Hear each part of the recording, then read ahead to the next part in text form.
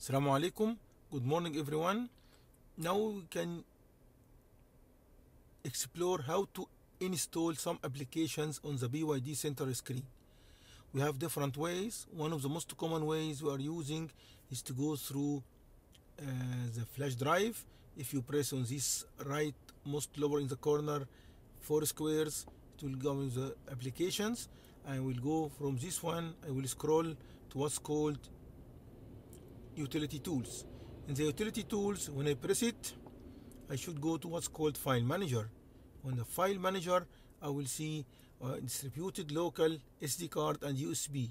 I put my applications on the USB drive, which is inserted down in the under the console. It is the type A USB, the old one. When I touch it, USB, I use what inside the folder. There's, I put the application in the car applications. I can install whatever I want. Suppose I want to install Spotify, and this is the Spotify application here. I can be in the center. I can use. I have three different versions. I can check one of them, which is should be working. This is one first way. Second way, you can use it.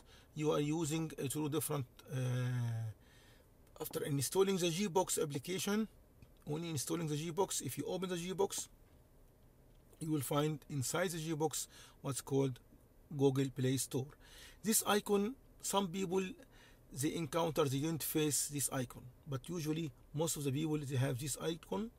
If you open Google Play Store, it's already an Google Play. If I want Spotify as an example, I will write Spotify. Also, I can search for Spotify. Spotify will come. I can install Spotify. One more method I can go to another store. It's called I installed before also application store, Huawei application store, and also Aptoide eh, application stores. There is different stores you can use, but I like Huawei also stores. If I touch it, Huawei stores. I just you need now to search for Spotify. I will write Spotify. Spotify. I can find it now here. I can press install. It will starting downloading down. So this is different ways how to install an APK applications on the main screen. Taken in consideration if you are using the Gbox application the Gbox application the applications will come inside the Gbox itself. So some people didn't like that. So if you didn't like to use that so go either to the flash drive technique or go to the uh, Huawei stores it will show you.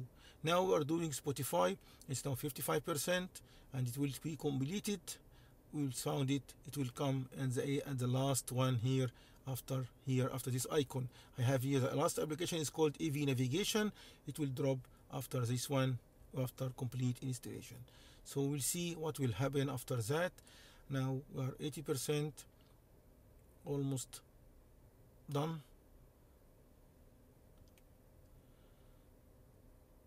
so now it will come now and after that I need to complete the installation for whatever the flash drive or the any other way by I overriding the system. I will press install then it will ask I it will installing the application and we can use it smoothly. Okay? Now it appears here as we touch it and as we know we can open and put our username password and use any APK applications. Okay? Thank you for your watching